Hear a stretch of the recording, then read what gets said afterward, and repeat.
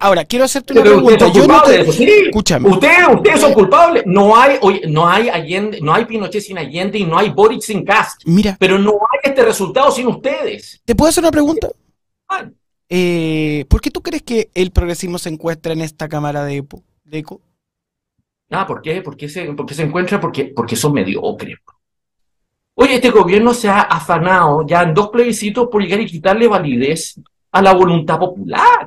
Tú me dices, ¿por qué el progresismo está ahí? Porque no valen nada. Ustedes, para serte sincero, como generación son un fracaso. Lo que temo es que ustedes no terminan el mandato.